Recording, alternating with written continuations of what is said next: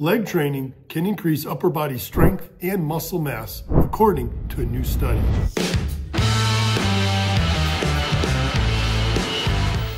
Hi, I'm Dr. Jim Stoppani, and welcome to my YouTube channel.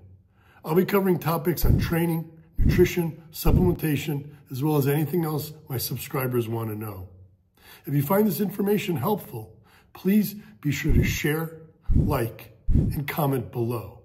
And don't forget to subscribe so you can be notified when I post new videos. Leg training can increase upper body strength and muscle mass, according to a new study. Any gym bro can tell you that it's not just important to train legs to build your legs, but that leg training can help to build your upper body muscle size and strength as well. But what does the science say about this? Luckily, we have a brand new systematic review study by UK researchers that looked at the data from 24 different studies investigating the influence that training both lower body and upper body have on one another. They concluded in a 2024 issue of the journal Sports Medicine that those who train legs either before or immediately after training the upper body experience both strength gains and muscle growth in the upper body that's greater than those who train the upper body alone. One reason for the transfer of muscle mass gains from lower body training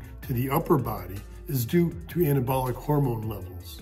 Research confirms that when you do multi-joint lower body exercises like squats and deadlifts, it increases levels of the anabolic hormones such as testosterone and growth hormone higher than when you do upper body exercises such as curls. This is due to the fact that multi-joint lower body exercises involve more total muscle mass than upper body exercises do.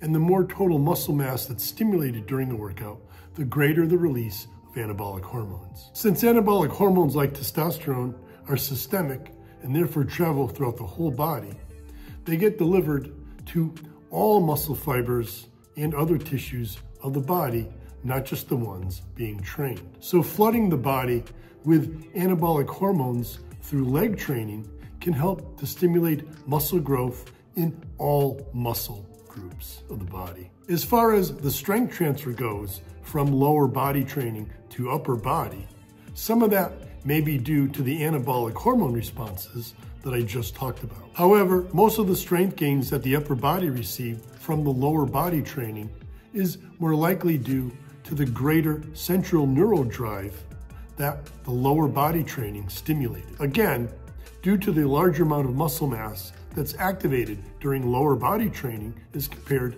to upper body training. The neural drive, which is generated in the central nervous system, is greater.